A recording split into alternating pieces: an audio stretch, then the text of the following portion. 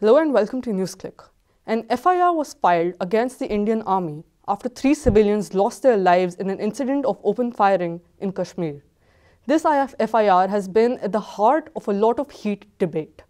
And to discuss this, we have with us today Mr. Parvez Imroz. Mr. Imroz is a lawyer and an activist and one of the founding members of Jammu and Kashmir Coalition of Civil Society. He has done groundbreaking work in documenting mass graves in Kashmir and researching human rights violations by the Indian Army.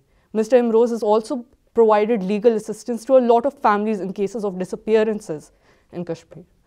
So, uh, sir, we today want to talk to you about Shopian and what has happened there recently.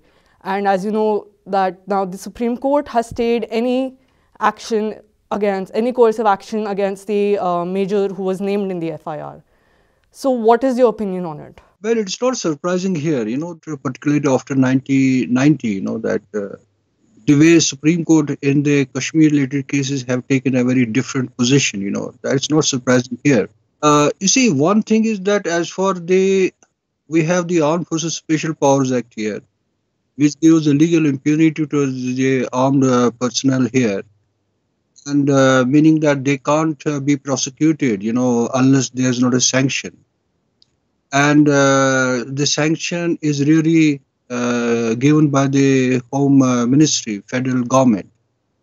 The fact that according to Rajya Sabha, that uh, the statement recently, they say 50 cases have been sent for the grant of sanction and in which 47 they have denied. So question is that is the they have the legal cover and uh, sanction prosecution is very unlikely. but what is very disturbing, I mean that under the Armed Forces Special Powers Act, the investigation is not barred. That the FIR filing an FIR according to Supreme Court uh, judgment in Lalita Kumari, there's a five-judge bench. They said that in a cognizable offense, the FIR has to be filed. So even in this case. the Supreme Court's, uh, you know, that uh, uh, order, you know, then uh, which is very disturbing here. Uh, one can understand if there's a prosecution, or one can understand that if there's a conviction of the uh, armed person. But even the FIR, Supreme Court has ordered, stayed it, and then that is the very disturbing here. I mean, uh, even in Pathribal case, we know that how in Pathribal case finally that uh, in the CBI investigation uh, has indicted the five army officials for the extrajudicial killings taken counter. But even finally, that Supreme Court sent it to the for the army for court martial, and army didn't conduct the court martial. They, on the contrary, conduct the summary of evidence, which is not the court martial. So uh, now this has been stayed and but there was also this uh, magisterial probe which uh, Mehbooba Mufti had said that, that will be conducted to lead this investigation to its logical conclusion. The, uh, the Supreme Court order is saying that there cannot be any coercive action against the Army General, but will that order also affect this probe and the investigation in this probe? Because that should technically go on as per it was been happening will will this order then affect this uh, probe as well? You know, normally it is very uh, customary for the government. You know, in a high-profile case, uh, the government, state government has been always ordering the uh, ministerial inquiries, and uh, almost every year we have also the uh, the document that where none of none of the ministerial inquiries finally uh, I mean, uh, concluded or they have been very effective. You know, that is a very ritual. It is just to subside the public anger. These uh, these master inquiries have no credibility because uh, another factor is also the army, not only in the ministerial inquiry, but even in the police investigation, they are never cooperating. For example, the police, in a lot of cases we have where the police have been uh, asking the army to give the uh, the role uh, uh, of the army personnel there. They are not forwarding it them, and uh, even the High Court has not been very uh, proactive. Actually, the problem is not the legality. Problem is the morality. The moral impunity is an issue for the uh, before the government. They have the legal impunity, but the way the morale of the army is getting down here, that is a bigger challenge for the uh, uh, Indian government. You know, the way uh, people are coming on the streets, people are uh, protesting, agitating, and it is demoralizing the army. And you see the statement of the former defense minister or the uh, military leadership, particularly if you remember that last year when there was a Farooq Dar's case, you know, who was tied with a, a jeep.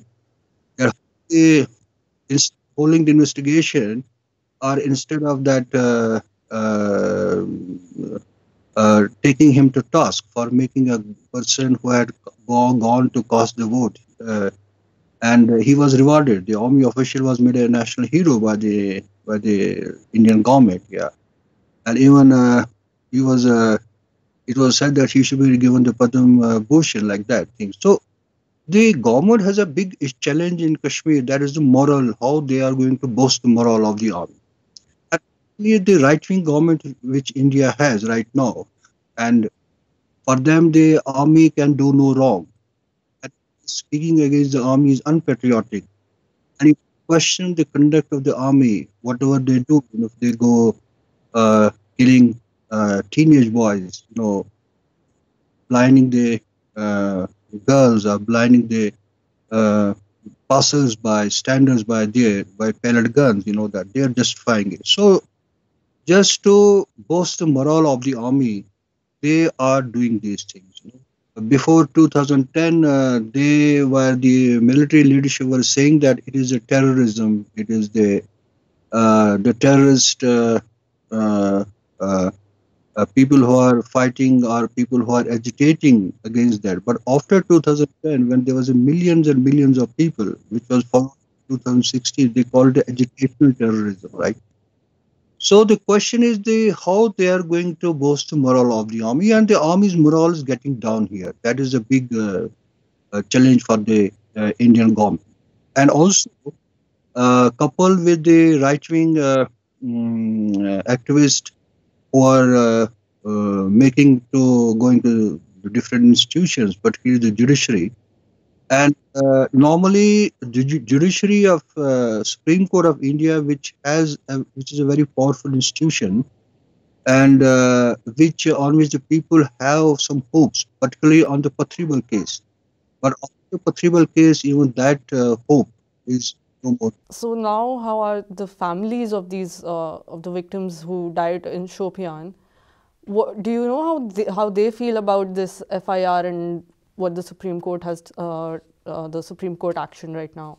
They know about it. Even uh, one has said that they have no faith on the institutions, and uh, you see.